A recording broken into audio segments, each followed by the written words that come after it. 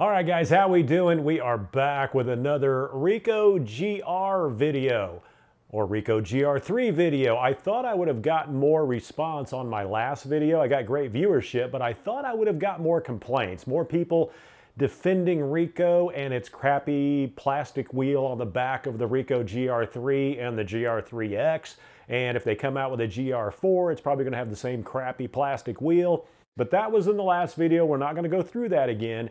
What I'm going to show you is what I replaced, or what I am replacing my Ricoh GR3 with that I am much happier with. I am much, much, much, much happier with this new replacement. Actually, it's not new. It is new to me. What does that look like to you? Looks like the Ricoh GR3, doesn't it? It's not. It's the Ricoh GR. I'm telling you, this thing I'm happy with it, much happier than I was with the Ricoh GR3. Why? Because A, I picked this up for $325 on eBay, no dust on the sensor, and check it out. No crappy plastic wheel on the back of this. This is what pisses me off about Ricoh. They literally changed something that worked great with the up, down, left, right dial here, or not dial, but the buttons, these work great. This is an old used camera. It still works great. You know why? Because there's no crappy plastic wheel on the back. That's why it works great. So I uh, sold my Ricoh GR3 and I bought this awesome Ricoh GR. One thing that's awesome about it is that it was only 325 bucks. I don't have to treat this with kid gloves. It's not going to fall apart on me. It's, it works great. I love the controls on the back. You might want to check one of those out. Now, let's go into some of the differences between the Ricoh GR and the Ricoh GR3. Of course, the Ricoh GR3 is a much better quality camera regarding the mechanics, the technology in the camera. No problem with that. It's just the way they put that wheel on the back that pissed me off. But I used it for a lot of things, which is why it went bad quickly. So now I know that this is not going to go bad. And if it does, I'll spend another 325 bucks and I would have a second Ricoh GR and I would have only spent maybe 650 versus 900 or $1,000 for a camera that I know is going to screw up. So, um, but what makes this um, uh, less quality than the Ricoh GR3? Well, a couple things. This does not have IBIS.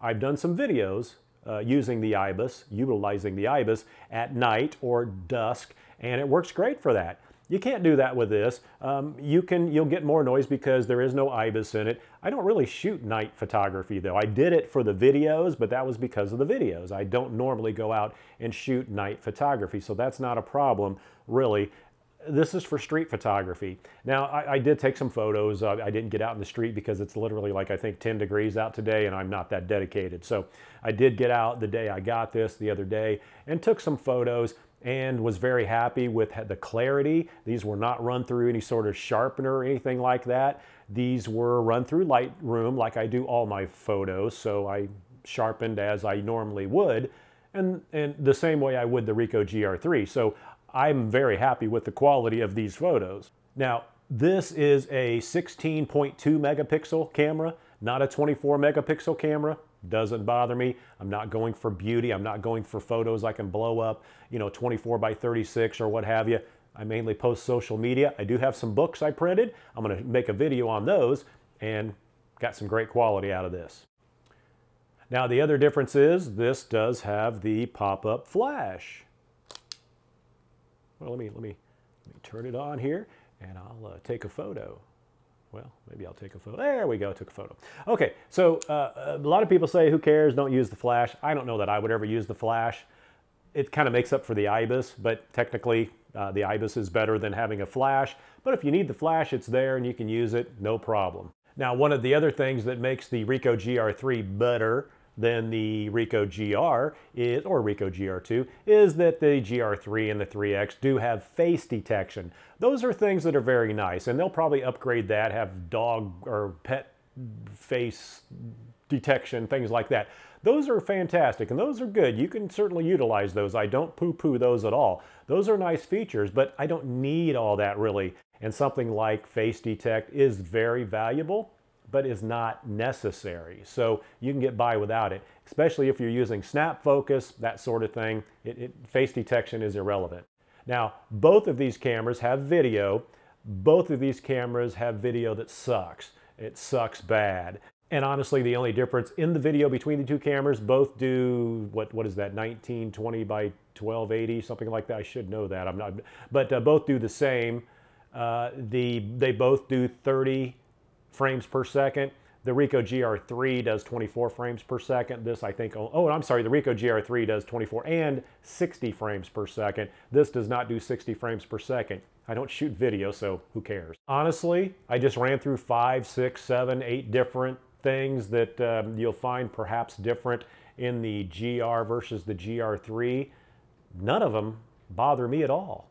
And again, you, you get a lot of the same functions on the back. I don't know what you can see on there. You see my hand over the lens there. Hey, there's me. Um, you know, I don't know how well you can see all this or whatever, but again, right here, that's the key. Right there is the key. No crappy wheel. You get up, up, down, left, right, right, left, right, whatever, your left, my right. And uh, that works fantastic in the menu. You don't get touch, you don't get the touch screen. That's the other big, huge thing. With the Ricoh GR3, that's huge. A lot of people like to do their street photography with the touch screen. Um, you can be walking by and just bam, bam, or you can be like, what's wrong with my camera? Taking pictures of people. That is, that is a huge advantage, and I've used that. That's kind of a sneak attack, though. I tend to just like this. Now, oh, another thing, the uh, GA1 coupler that you get with the Ricoh GR3 that is mandatory, in my opinion, to be able to hold the camera like this. This takes a G, a GH3 instead of a GA1. So I, and they're a little more expensive, so I've had to order that off eBay, waiting for that to come in, and that'll protect it. But if I get dust on the sensor, and I think on one of these I found a spot on the sensor, I don't know if it was just from the lens or, or it's actually dust in the sensor, I could care less for 300 bucks. That's fine. If I'm spending a grand and there's dust on the sensor, I'm pissed. Okay, so I can buy two of these, almost three of these for the same price as a, as a 3X and I don't like 40 millimeter when you're talking about uh, street photography. You'll see right here, I'll just show you right here. I took a couple pictures where it was, uh, uh, I, I, you know, this does have the 28 millimeter normal, then it's got the 35 millimeter crop and the 47 millimeter crop. I think the Ricoh GR3 is a 50, uh, but uh, I used all three of them and they work fantastic. I don't see a lot of grain, I don't see a lot of noise, and again, I'm not taking pretty pictures with this, although you can take a lot of pretty pictures with it. I'm taking mainly street photography and just some other things, a lot that I wouldn't take if I were not making YouTube videos. So uh, some features are just there. I use them because I'm just trying to show you guys they're there. This one's pretty stripped down. This is the GR, not the GR2, not the GR3, and not to be confused with the Ricoh Digital line. In Ricoh's infinite wisdom, they came out with a line of cameras, 8 megapixel cameras. They called them the Ricoh Digital, the Ricoh Digital 2, the Ricoh Digital 3. Then they came out with the Ricoh 1, GR1, Ricoh GR2, and Ricoh GR3, and then the 3X. Confuses the hell out of people. The difference is this says GR. The digitals, the lesser quality digitals, say GR Digital on them. I don't know why they didn't change the line name, but that's Ricoh and they make no sense. But anyway, I love this camera. Now I love my Ricoh GR3. I'm not taking anything away from that. If you own a Ricoh GR3, be happy with it, except for the crappy plastic wheel on the back. And uh, if you are looking to buy a Ricoh GR3, knock yourself out. However, I like the fact that Ricoh got no money for this. They didn't get credit for this. Whoever bought this camera originally, Ricoh got credit for it, got paid for it. I bought it off eBay. Ricoh got nothing for it. Kind of makes me happy the way they screwed up the Ricoh GR3 and the 3X. I'm kind of happy that uh, uh, they're not getting any money out of this from me. So anyway, that's my take on the Ricoh GR versus the Ricoh GR3. I'm going to use the hell out of this camera and then I'll pitch it and buy another one. Don't care. I'll never buy a Ricoh GR3 or a Ricoh GR3X again. Maybe a 4 if they get rid of the wheel, but I bet you they won't. I guarantee you they won't. You know why?